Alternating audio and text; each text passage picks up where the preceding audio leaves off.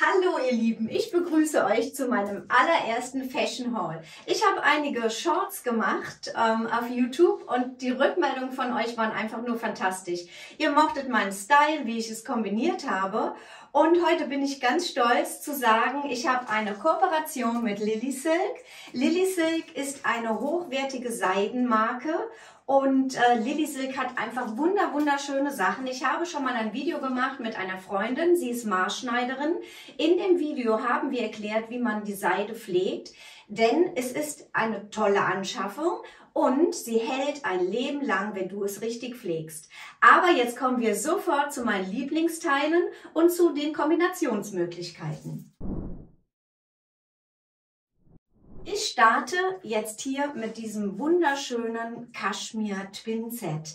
Du kannst es tragen mit einem Pullover drunter oder einfach einzeln. Aber ich zeige euch, wie man dieses tolle Strickjäckchen kombiniert. Es erscheint erst einmal sehr klassisch schick, aber in den Kombinationen mit Jeans, mit Leder oder mit Seide sieht es toll aus und ihr könnt es das ganze Jahr übertragen.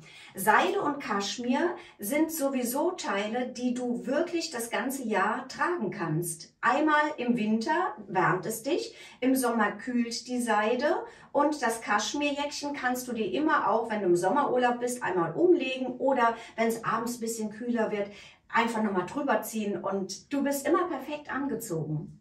Ich starte jetzt einmal mit der ersten Kombination. Ich habe hier eine wunderschöne schwarze Seidenhose. Die habe ich in einem anderen Video auch schon mal getragen und es war ein Pferderennen und ich habe sie hier mit der Kombination getragen mit dem Oberteil, was ich jetzt habe. Man kann das richtig schick tragen, indem man also jetzt das vielleicht so ein bisschen äh, stylischer macht aber wenn man die Kombination mit der schwarzen Hose hat, ist es natürlich sehr schick. Und du kannst überall mit hingehen, kannst dich überall sehen lassen. Meine erste Kombination habe ich getragen mit meinen Lieblingsschuhen. Ich zeige sie euch gerade mal. Und zwar sind das super schicke Schuhe. Ähm, du kannst diese Kombination zum Beispiel zu einer Hochzeit tragen oder wenn du eine besonders tolle Einladung hast zu einem runden Geburtstag oder gehst ein ganz schickes Hotel und hast also ein wunderschönes Abendessen. Da passt es ganz toll. In dem Video präsentiere ich euch, wie gesagt, diese tolle Hose, die sich unheimlich geschmeidig auf der Haut anfühlt. Sie hat einen wunderschönen Glanz und ihr könnt sie mit flachen oder mit hohen Schuhen tragen. Ich habe es im Video jetzt getragen mit meinen Lieblingsschuhen. Sie sind hoch. Ich habe äh, schöne Accessoires benutzt, habe einen schönen Gürtel dazu getragen, habe diese Jacke eben einmal geschlossen oder auch einmal geöffnet und äh, ja, habe hab also so für mich festgestellt, ist eine super tolle Kombination, wenn ich mal wirklich was Schickes brauche, das aber jetzt nicht so übertrieben ist, ja, ist es ähm, ja eine tolle klassische Kombination und ich liebe das einfach und äh, habe sie total gerne getragen. Meine zweite Kombination, ein bisschen cooler, und zwar mit einer Lederhose. Ich habe jetzt für euch eine Lederhose ausgewählt, die einen ganz anderen Schnitt hat. Sie ist nicht zu eng, sie ist sehr modern, sie ist oben so ein bisschen gerafft und ihr könnt sie ganz cool auch mit einem T-Shirt tragen. Und über das T-Shirt habe ich mir dann diese Kaschmirjacke gegeben. Und die habe ich dann so getragen und sie fühlt sich so unglaublich schön an. Also an den Armen, wenn man da so rüber geht, sie ist so seidig weich. Und das Ganze sieht super cool aus. Du kannst ähm, auch hingehen und kannst die abends anziehen. Und abends habe ich sie jetzt getragen mit diesen ja sehr, sehr hohen, stylischen Glitzerschuhen. Und ich mochte das sehr gerne und war unterwegs und habe gedacht, Mensch, coole Kombination, aber du kommst überall rein, du kannst sie überall sehen lassen, weil einfach diese schicke Jacke, die macht es einfach aus. Und ähm, ja, ich war selbst überrascht, wie viele Kombinationsmöglichkeiten es einmal gibt. Ne? Es ist 100% Seide. Ich bin viel in Düsseldorf unterwegs. Da gibt es sehr viele schicke ähm, und sehr, sehr teure ähm, Geschäfte auf der Kö. Ich bewundere das immer und äh, bin dann aber auch, wo ich so denke, mein Gott, 300, 400 Euro für eine Kaschmirjacke. Und diese Jacke, muss ich ganz ehrlich sagen, ähm, hat so ein tolles Preis-Leistungs-Verhältnis. Auch 100% ähm, Kaschmir Und ähm, auch diese tollen Knöpfe sehen super edel aus. Und äh, ja, ihr werdet jetzt aber sehen, wie man das Ganze jetzt zum Beispiel auch auf einem Kleid tragen kann. Ich habe jetzt hier noch ein Kleid für euch. Das ist so ein bisschen unterlegt ähm, und äh, ist nudefarben unterlegt und dann kommt die Spitze einfach hier schöner raus. Das Kleid geht ähm, ja bis an die Knie, denn das ist auch immer so eine Sache in unserem Alter. Also ich mag die Kleider persönlich jetzt nicht mehr ganz so kurz. Also sie äh, können schön ähm, am Körper anschmiegen, aber äh, ich mag es halt jetzt nicht mehr, wenn man an den Knien das zu kurz hat. Und ähm, ja, das ist halt auch eine ganz, ganz elegante Kombination, die man zum Beispiel auch wieder schick äh, zu einem Fest anziehen kann. Man ist immer gut angezogen. Wenn es warm ist, dann kann man eben das Kleid tragen, ähm, ja, sitzt ein bisschen in der Sonne. Wenn es abends kühler wird oder wenn es zum Beispiel eine Hochzeit ist, es geht in die Kirche rein oder so und dann trägt man ja lieber besser ein bisschen was am Arm, dann kann, könnt ihr das Ganze also wunderbar hier mit der Jacke tragen. Die kann dann auch leicht geöffnet sein. Ihr könnt zum Beispiel, um es so ein bisschen frischer, auch jugendlicher und flotter zu tragen, auch die Ärmel schön hochziehen. Das hatte ich also eben auch in der Kombination mit der Lederhose. Ist ein bisschen cooler, wenn dann halt der Arm hier nicht ganz abschließt. Das ist halt immer klassisch. Ansonsten ist es so ein bisschen stylischer, wenn ihr das auch hochzieht, so ein bisschen äh, die Knöchel freilegt. Das ist also immer ein, ähm, ja, eine besondere, äh, es macht immer ein bisschen jugendlicher. Also Jugendlicher macht zum Beispiel, wenn man die Fesseln sieht und wenn man also hier das Handgelenk sieht. Deshalb shoppt immer gerne mal und äh, tragt es so ein bisschen kürzer.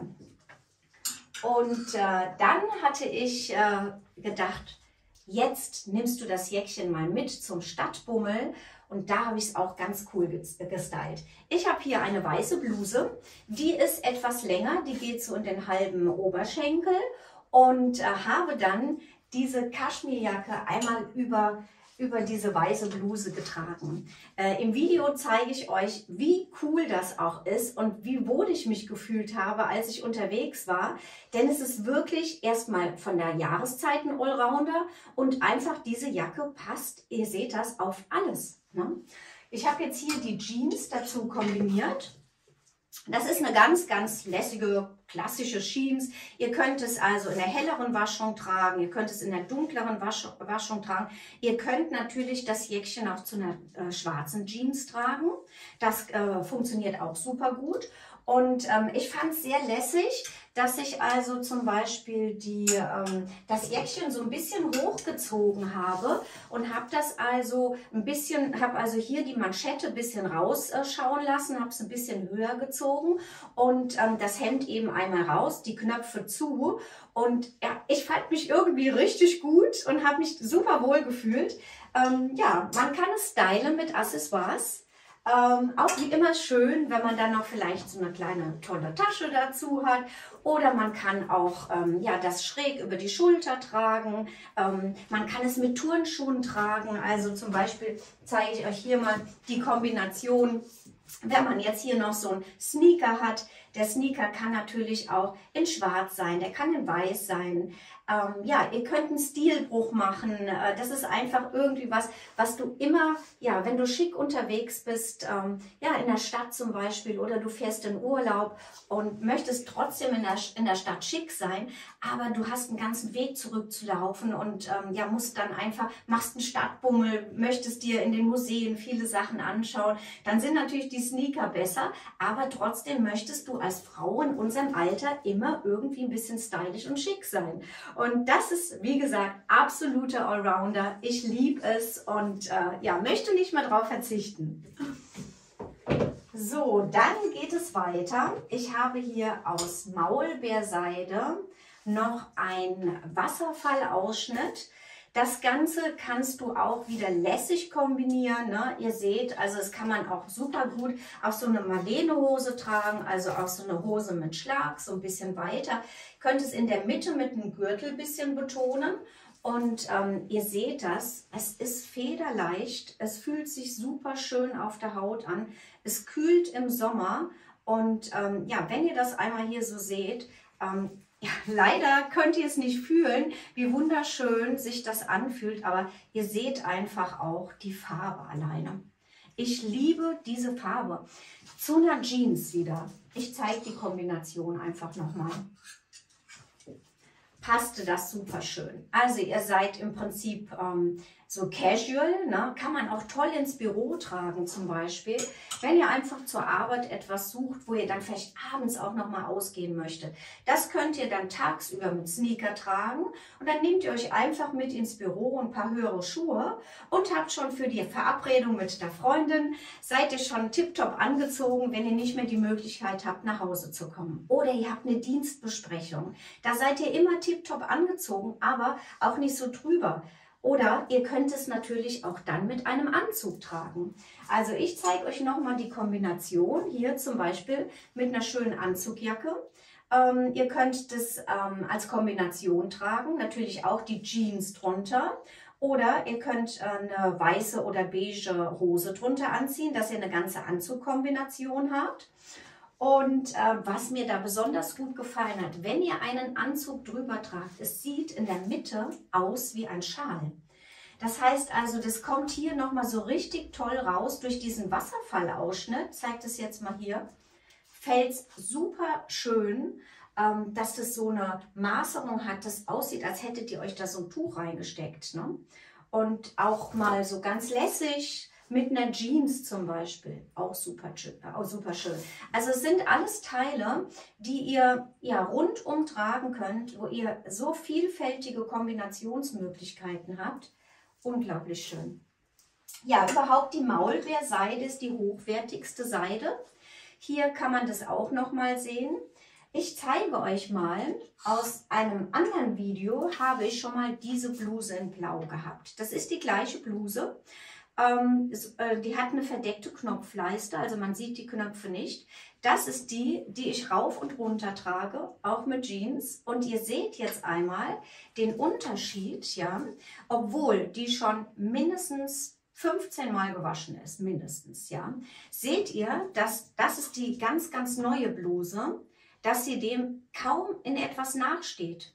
Also ähm, die ist vielleicht jetzt beim Waschen minimal heller geworden, aber das hat mich jetzt nicht gestört. Aber dieser Glanz und diese Geschmeidigkeit und dieses Edle ist immer noch genauso vorhanden nach mehrmaligem Waschen. Da zeige ich euch auch noch eine schöne Kombination. Das habe ich jetzt mit diesem Seidenrock getragen. Der ist auch super schick. Das ist wieder was für eine Hochzeit. Man möchte dann auch als Gast immer wieder unheimlich äh, schick sein, aber ähm, ja, trotzdem elegant und edel. Und in unserem Alter, muss ich sagen, sind das wirklich Teile, äh, die ihr ja, einfach toll tragen könnt. Ne? Also jetzt auch zum Beispiel dieser Rock, ne? ihr seht das jetzt hier unten zum Beispiel mit den Schuhen, ich halte das mal so ein bisschen an, ne? kann man mit Mules tragen, das sieht dann auch immer super schick aus und äh, kann auch ein bisschen lässig gemacht werden. So ein Rock könnt ihr auch ganz toll mit, einem, mit einer Jeansbluse oder einer Jeansjacke tragen. Dann äh, gradet ihr das einmal ab oder ihr, äh, ja, ihr macht es ein bisschen schlichter, macht es ein bisschen sportlicher. Aber ihr könnt einfach nichts falsch machen mit diesen Sachen. Also super schön fand ich auch diese Bluse dazu. Das ist ein Champagnerton, ähm, der eure Haut unglaublich schön schmeichelt. Ihr könnt das mit Nude-Lippenstiften tragen. Ich habe heute mal so ein bisschen roten Lippenstift aufgetragen. Also selbst auch das funktioniert super schön. Ähm, die Arme können auch ein bisschen geschoppt werden, ein bisschen hochgetragen. Und ähm, schaut euch mal an, also auch wie super schön das verarbeitet ist. Ich gehe mal jetzt auch ein bisschen näher und muss sagen, also auch das Ganze von den Bündchen, sehr, sehr edel. Und ähm, ja, es, es fällt einfach auch so toll. Schaut euch das mal an, ne, was das also so für eine Geschmeidigkeit hat. Es ist wirklich schön. Die kann auch wieder mit Jeans getragen werden, mit einer beigen Hose, mit einer schwarzen Hose, mit einer weißen Hose, mit dem Rock äh, in Kombination mit einem Anzug ähm, oder auch eine ganz schicke cognacfarbene oder beige Anzughose, auch super schick. Ne? Ihr könnt das Ganze aufpeppen. Ähm, es hat eine schlichte Eleganz. Ihr könnt ähm, dazu dann einfach auch tolle Gürtel tragen. Ja, und äh, dann kommen wir nochmal, was trage ich denn da drunter?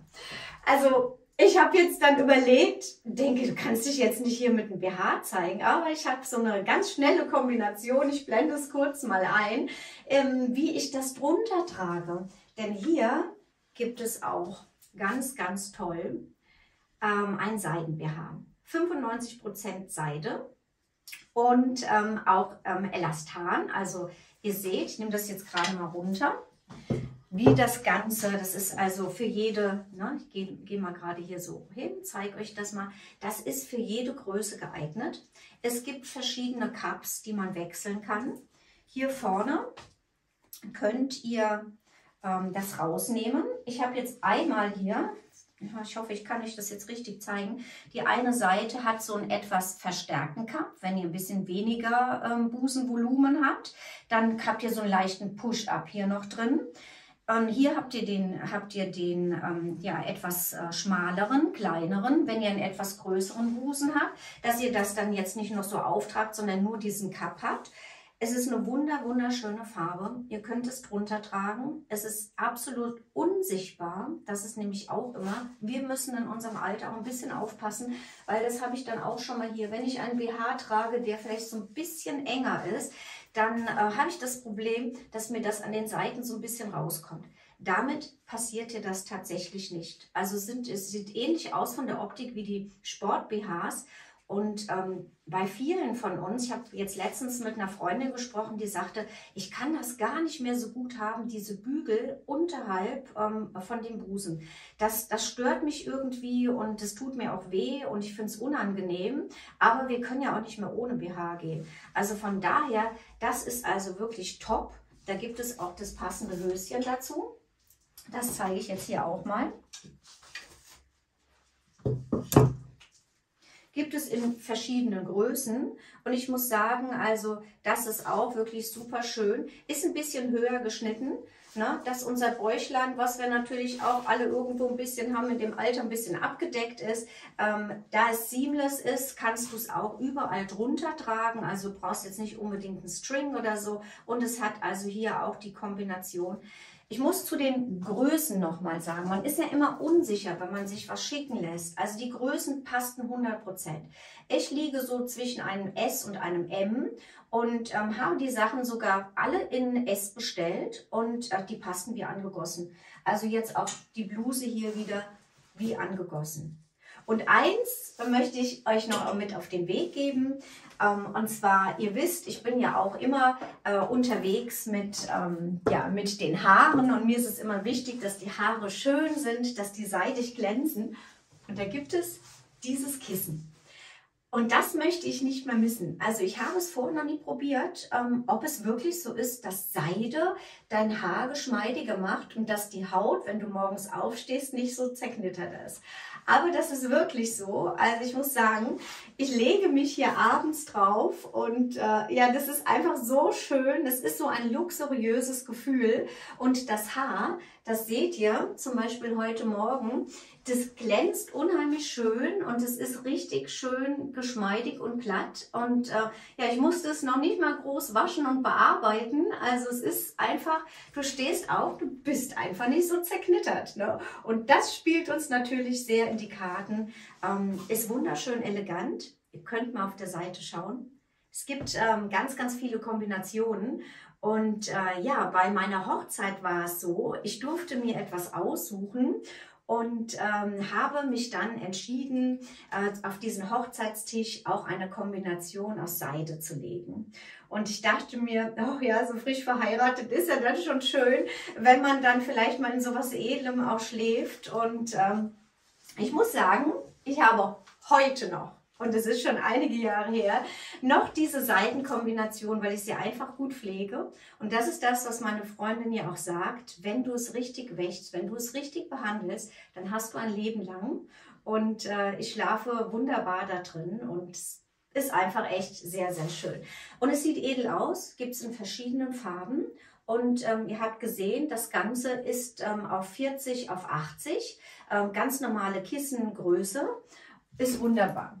Ja, und ich muss sagen, was ich auch toll fand, wie das einfach ankommt. Es ist so, so schön, ja, wenn ihr vielleicht zum Teil, ich sag jetzt mal zum Beispiel, ähm, ja, die, die liegen so um die 100 Euro ungefähr. Wenn sowas ankommt, ist es auch ein wunderschönes Geschenk. Wenn ihr eine Freundin habt oder die Männer hier unter uns, also wenn ihr eurer Frau mal eine Freude machen möchtet, ja, und so ein Geschenk mit einer Seidenbluse kommt an, die habt ihr da liegen, ich sage es euch. Dann ist es wirklich so, jede Frau, ja, ja, die ist einfach, stellt euch vor, oder auch, wie gesagt, der BH, ne? Hallo Männer, ne? Also sowas Schönes dann eben zu verschenken, finde ich auch wunderschön.